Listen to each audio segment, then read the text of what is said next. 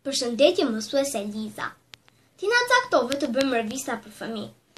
Unë revistës sime ja kam vënë titullin Argëtohu, autore Tirsa Keta. Në faqen e dytë, kam paraqitur përmbajtjen. Temat me faqet përkatëse. Temat janë.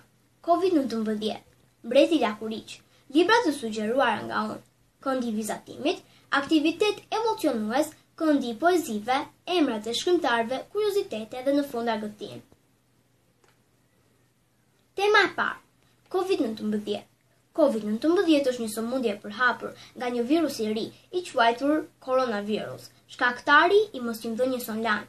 Ky virus ka shkaktuar shumë lot në të gjithë botën. Ai u zbulua për herë të parë në Kinë e më pas në të gjithë rruzullin tokësor. Ne vazhdimisht duhet të ndjekim rregullat e të qëndrojmë në shtëpi për të mbrojtur sigurinë tonë. Duhet ta kujtojmë shprehjen, Panik jo, kujdes shumë, prandaj e kam paraqitur dhe me të kuqe. Të gjithë së bashku do t'ja dalim, do ta mundim këtë armik të lig. Nuk do ta lejojmë të shkaktojë më shumë pasoja. Hero është ai që rri në shtëpi dhe jo ai që del të përballet me të. Tani kam marrë një tregim nga interneti dhe më pëlqeu. Mbreti lakuriq, na ishte njëherë një mbret, i një mbretërie të madhe. Ai sundonte aq mirë, sa që vendasit e donin shumë. Një ditë ai mendoi që të ndërronte rrobaqepësin e tij, duke bërë një shpallje, që ai që do të qepte rrobat më të mira për mbretin, do të merrte shumë para. Ai kishte urdhëruar që qepja e rrobave të bëhej me fije ari.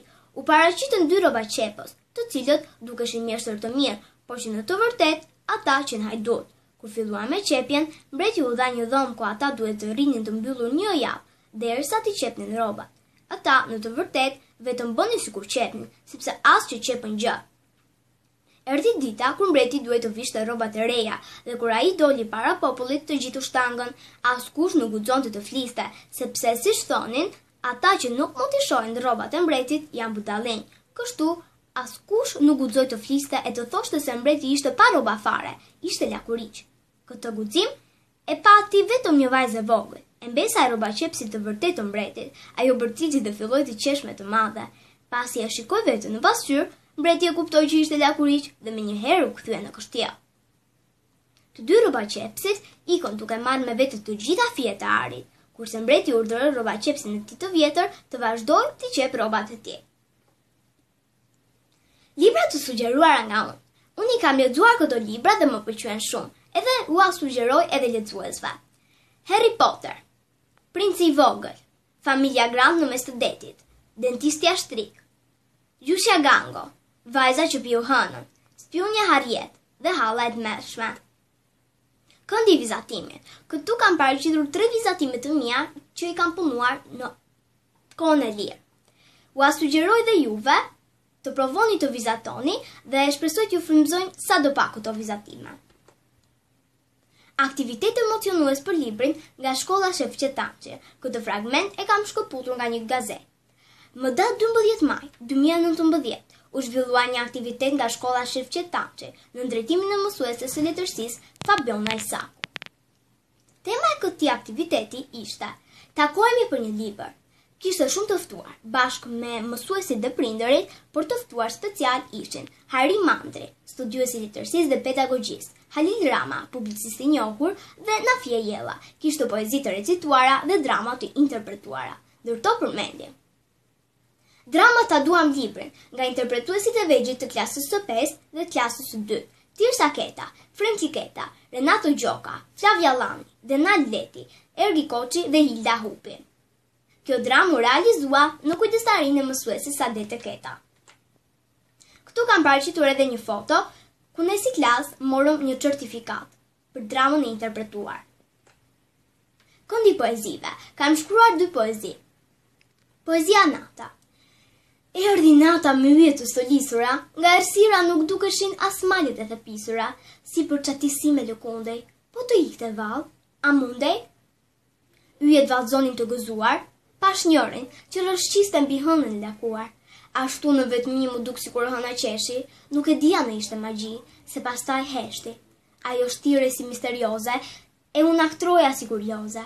Dhe unë doja të isha atje lart si hëna, të ndriçoja me magjinë time, e të përfundoja punët e lëna. Poezia koha Ikën koha fluturon, mundohu sa të duash se s'ndalon. Ikën koha me shpejtësi, u bë plak, një djalë i ri. Tik tak, tik tak. Ikën koha nuk kthehet prapë. Ikën koha fluturon, që s'të pret, se bëhet vonë. Provo të gjesh emrat e këtyre shkrimtarëve. Ne këto shkrimtarë i kemi hasur në veprat e tyre, në lëndën e gjuhës shqipe. Mundohuni të gjeni emrat e tyre dhe veprat te të cilat i kemi hasur. Kuriozitete Këto kuriozitete janë marrë nga libra të ndryshëm dhe interneti. Një, hipopotami është një nga kafshët më të rënda dhe më të mëdha në botë. Megjithatë, pavarësisht peshës së tij, hipopotami mund të vrapojë më shpejt se një njeri mesatar. 2. Bretkosa e drurit mund të ngrijë në fillim të dimrit dhe të qëndrojë jo e ngrirë gjatë gjithë dimrit. Kjo është një aftësi mbijetese që e ndihmon atë të jetojë në sezonin e ftohtë të dimrit. Me ardhjen e pranverës bretkosa del nga akulli që e ka mbuluar dhe i rikthehet normalitetit. Tre, Kanadaja ka mbi tre milionë liqene, dhe gjashtëdhjetë për qind të të gjithë liqeneve në botë ndodhen brenda kufijve të saj. Katër. Amerikanët për çdo vit prodhojnë gota prej stiropori, sa mjaftojnë që toka të mbështillet katërqind e tridhjetë e gjashtë herë. Pesë. Duhen afërsisht tre muaj për të pastruar të gjitha dritaret e ndërtesës më të lartë në botë, Burj Khalifa, e cila ndodhet në Dubai. Argëtim! Plotësoni fjalëkryqin më poshtë dhe zbuloni fjalën e fshehur. Unë nuk do ta zbuloj fjalëkryqin. Gjeni ju. Fjalëkryqi zhvillohet horizontalisht dhe keni pesë ndihma. Një, shpendi rozë. Dy, stina e katërt e vitit. Tre, vendi ku blihen libra. Katër, konsiderohet me emrin perimja jeshile. Pesë, shpendi më i vogël që ekziston. Tani, me ngjyrë më të errët, do gjeni fjalën e fshehur.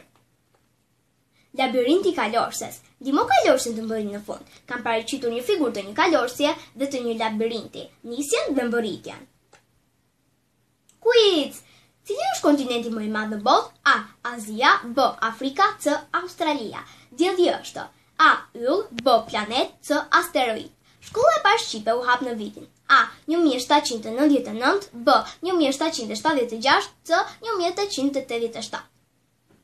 Urithët janë A të verbër, B të shurdhër, C asnjëra.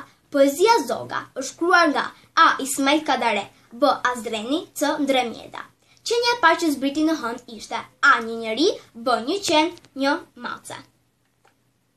Kjo ishte dhe revista që unë kam përgatitur. Tani, mirupafshim dhe shpresoj t'ju pëlqejë.